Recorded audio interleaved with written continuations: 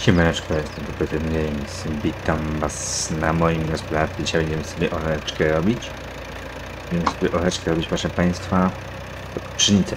A ja sobie rozumiem do pole, żeby zaraz wiecie, zakryć, bo agri nic nie wymaga, trzeba to spełnić. Więc mamy to tak zrobione, że jedno pole, siadamy do Ususa, a się mówię, a sobie się palę Ususa, zobaczymy jak to będzie tym Ususem szło. Yy, patrzymy teraz, bierzemy sobie jakiś bieg w miarę możliwy. Wsiadamy i powinno być elegancko. 46 tysięcy na koncie. Eee, tak jak wspominałem, zrobiłem parę, tak powiem, czym taką machlojkę, tak jak to mówiłem w poprzednim odcinku. Czekajcie, może sobie jakoś przyspieszę inaczej ten biegał, bo gościnie mi się tu nie może na obroty ten usus, jakoś dziwnie ma. Ym... O, no ważne. Będę tylko orał jakoś. Powinno być gdzieś dobrze. I tak. Przyjechali wojowki, zabrali jałówki za 5000 yy, złotych. Ja wziąłem, kupiłem sobie zerowy i mam teraz lalkę. Yy, dołożyłem potem po tych 1000 złotych, może lekko z hakiem 1000 do sztuki. Mam przy czym 70 i 60 4000, czyli wyłożyłem 18 tysięcy więcej do sztuki. Tak, coś mniej więcej liczę. Czekajcie, teraz jak to zrobić mądrze? Yy, czy dodać sobie? Dobra, zobaczymy, na razie pojedziemy tak. Yy, więc dołożyłem. Tylko na końcu jest 46 nie wam pokazuje, yy, że w nowej oborze, yy, która była ustawiona, mamy yy, mamy, mamy właśnie nowki, powiedzieć, mamy nowe sztuki, czyli mamy zakupione nowe rowy. Wydaje mi się, że będzie elegancko i powinno być luksus teraz.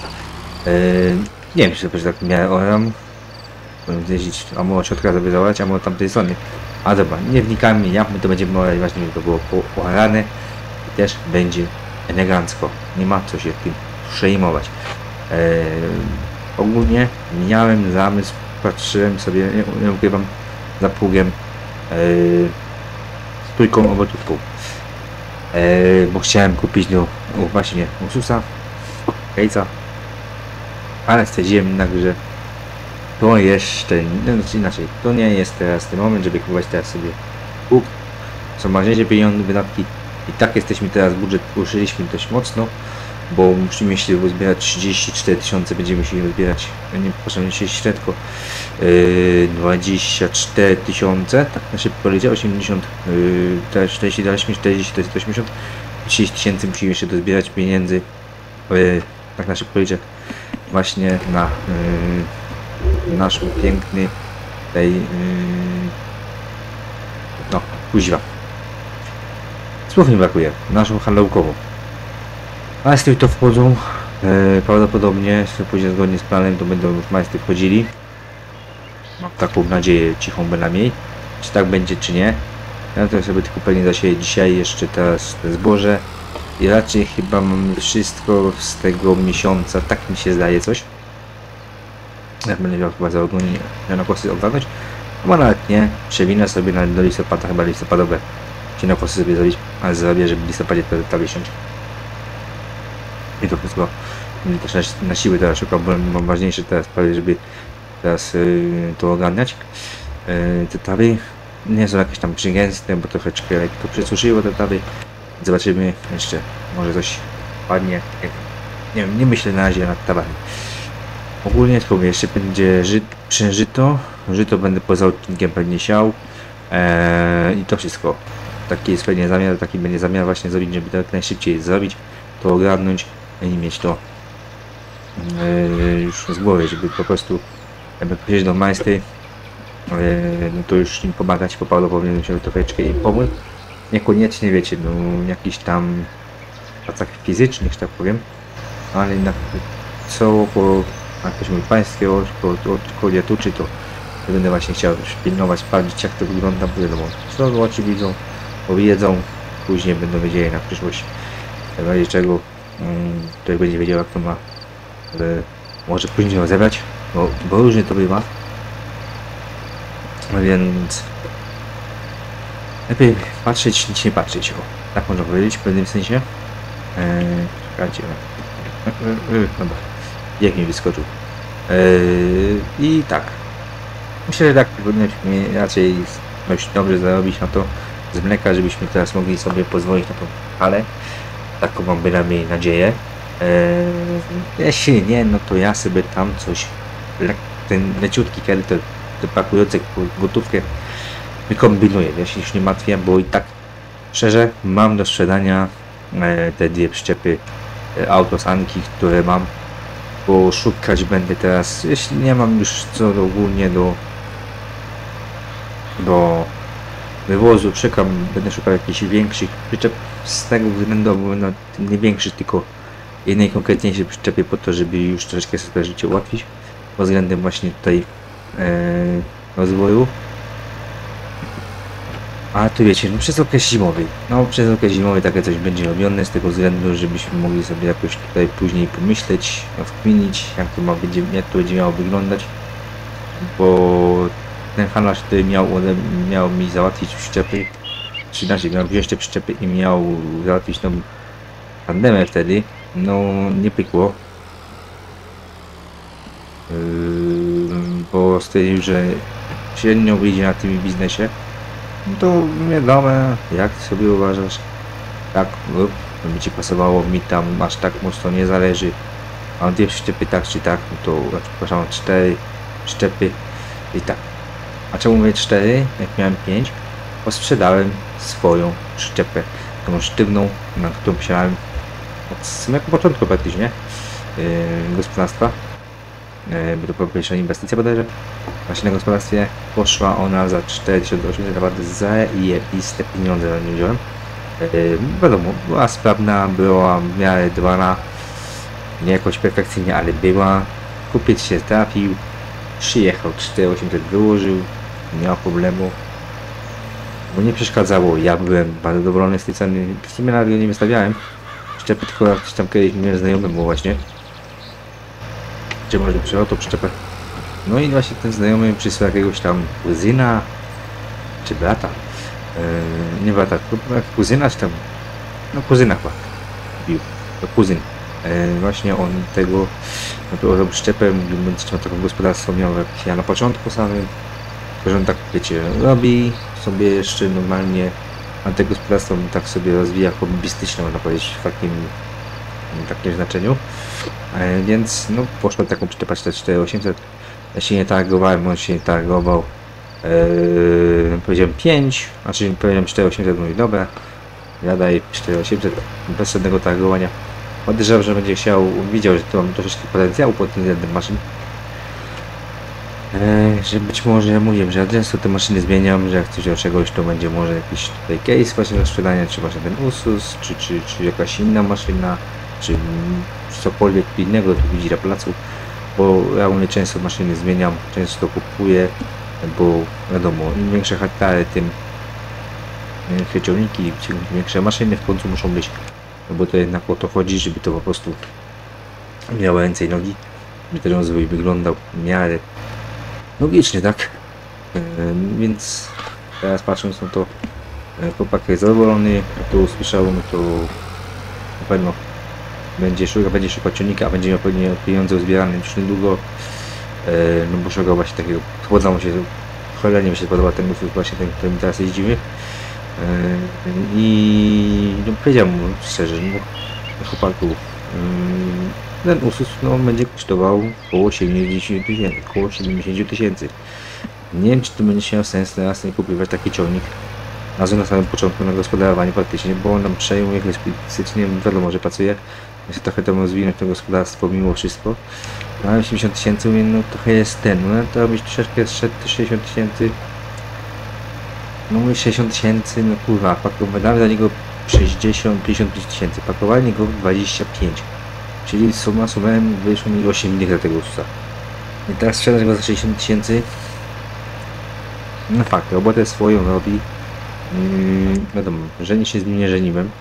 Ale też tak myślę 70 tysięcy to myślę, że to jest optymalna taka cena takiego Ursusa, ponieważ no jest dołożony TUS, yy, zagenerowana turbina, ogólnie cały tutaj yy, wyremontowany, więc 70 tych 65 może maksymalnie mogę mu puścić.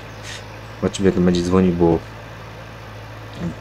będzie właśnie będzie szukał e, gdzieś mówi w okresie zimowym, więc ja się z tym zielnikiem nie żeniłem. Ja się tym zielnikiem nie będę tutaj yy, cackał, bo wiem mienówkę, a mi pilnówkę to może się bardziej bawił pod tym względem, ale nie, tutaj się nie bawię. Tutaj się człowiek rozwijać musi tyle w temacie. Yy, bardziej będziemy szło na case'a, na pewno tego mniejszego. Będziemy go sprzedawać, ale na razie case'a zostawiam, teraz zostawiam. A jeśli miał to robić, yy, sprzedawać to w pierwszej kolejności dzieli tutaj Ursus, bo czeski mam sentyment. Yy, wiem, jakoś tak nie zostało mi od samego początku, jak to mam e, to gospodarstwo przykupione. No i tak to właśnie ta ikonka jest. No widzicie, ta ikonka niby, ta 30 jest niby no, mało używana, ale patrzcie, opryskiwacz kupiony pod nią elegancko. Eee, w poprzednim odcinku osiewaliśmy sobie żartę oleistą na pola, też elegancko sobie 30 latała. Ogólnie w siew, no, no, nie siewniku, tylko osiewaczu 30 też lata. Więc ma takie mm, prace, które ona mm, no po prostu przepraszam, yy, robi. To, że jest, może nie jest często używana, bo tak no, w polach tak typowo nie robi, tak, bo ona się już tak robi terała tutaj, na, na tym gospodarstwie, mimo wszystko.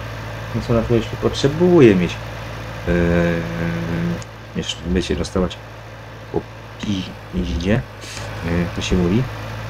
Już moje sobie wyterała. Bo ona już miała tyle mm, orek robionych, ona miała już tyle prac porobionych, więc tutaj ona jest z sentymentu. Yy, właśnie. Panuje. Teraz na razie myślę o sprzedaży głównych żadnych. Nie kupuję naprawdę, chyba że na wiosnę to co będę chciał kupić, a szukałem naprawdę fajnego ciągnika. Yy, to dziwnie może zabrzmieć, może w tym roku kupiłem już case'a, tak? Yy, tylko 51, 40, tylko 115 chodzi to już szukam kolejnego ciągnika, bo już hektary znowu doszły, tutaj doszły przecież hektary. Te obecne, które tutaj siejemy, e, przepraszam, uprawiamy, tutaj właśnie po razie prawicy, tam jeszcze łąka też jest, doszła. Kupiliśmy jeszcze jeszcze 50 hektar, e, jeszcze kawałek ziemi dokupiliśmy. Jeszcze w poprzednim odcinku wzięliśmy dzierżawę, bo się z Mietkiem dogadali. Eee, właśnie o dzierżawę. No to wiecie, no to już te maszynki Patrząc tak, patrzę naprawdę racjonalnie.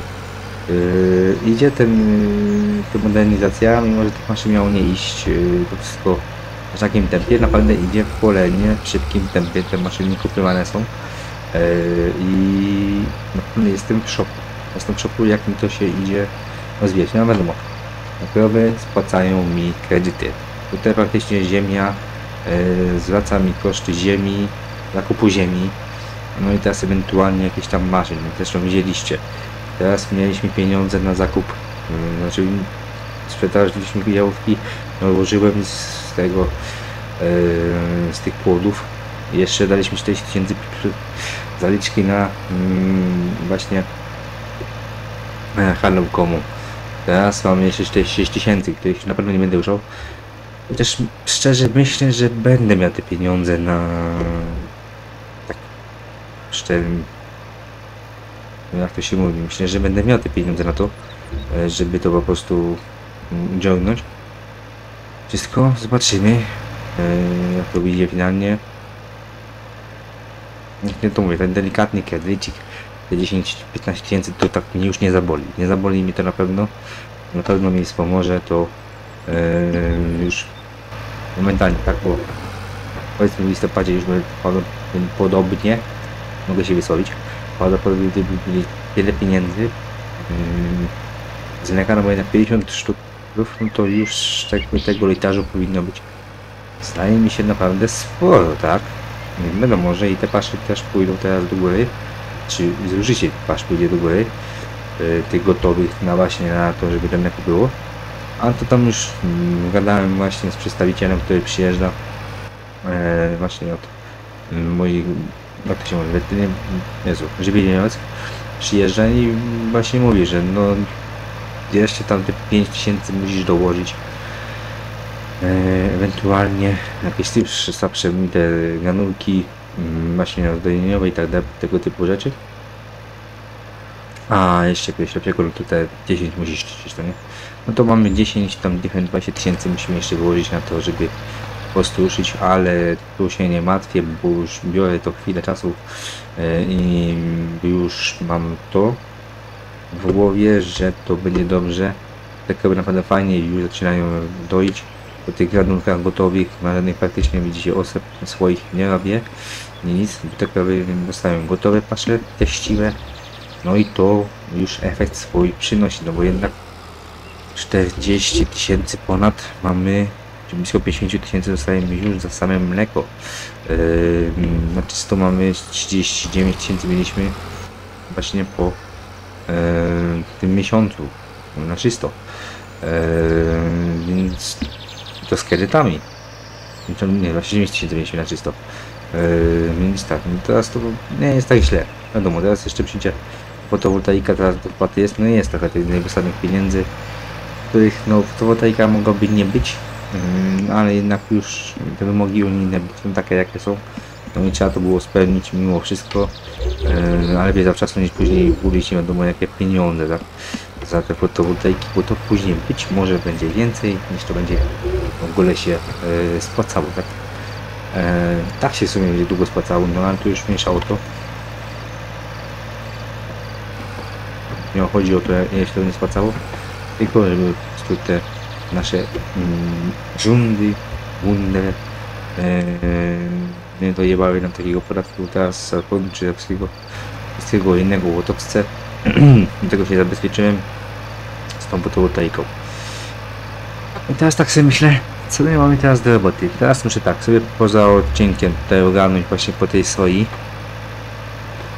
e, rozrzutnić obornik, ewentualnie gnojowice.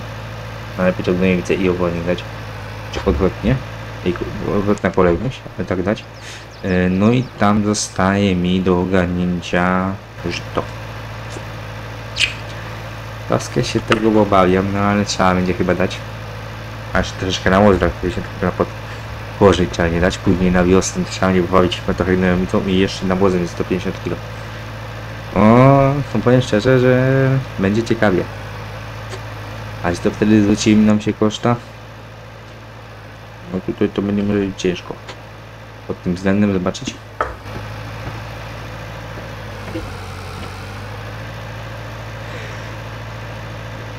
Tak? Właśnie, zobaczcie, włożę trochę nakładu, bo włożę. Teraz muszę się dobiec zadzwonić po Akines doradcach. E, właśnie od nawozów inne nawozy którą na team e, jakiś, żeby właśnie dowiedzieć się po nawozy są, bo też będę chciał no myślę te 24 ton tego nawozu kupić już e, na łąki, kupić sobie nawóz na e, zboża, kupić sobie pod korzeń, pod kukurydzę e, jakieś wapno prawdopodobnie trzeba będzie kupić. A wapno to tak przeważnie sypkie kupuję, to tam ten, ale możliwe tak będzie, że i granulowa będzie potrzebny, tego jeszcze nie wiem, ale na pewno tak, muszę kupić saletę, e, saletrzak, e, sól, fosforan, co jeszcze? Chyba tak patrząc to chyba wszystkie takie tutaj, e, jeżeli minione nawozy. No tak średnio liczę 5 nawozów po 4 tony każdego. E, właśnie zupełnie, bo no bo soli to nie wiadomo jak tam będzie wychodziło mi. No bo sól to nie na łąki pomieszana, yy, mieszana, wymieszana. Po prostu rozsiać i zobaczyć wtedy, czy będzie efekt lepszy, czy nie. Eee, znaczy, inaczej. W życiu realnym efekt jest. Eee, tylko mi chodzi o to, że będę mieszał to, yy, czy będę po prostu jeździł tak jak w życiu realnym raz dziennym nawozem, później drugim i trzecim. I to tyle fajnie wychodziło, ta klapka była zajebista dawana. Eee, wtedy wychodziło 550 kilo, 500 kilo na hektar coś nawozu. Na łąki później to już wiadomo, na nuggetawy chyba poszło po 150. Było to w miarę, w miarę to było dobrze ustawione. Dobra. Myślę, że nie będę przedłużał. Dzisiejszym odcinku byłby to na tyle. Jeśli taki odcinek Wam się spodobał, dajcie komentarz, linki za oglądanie. Myślę, że z tego odcinka na razie, cześć.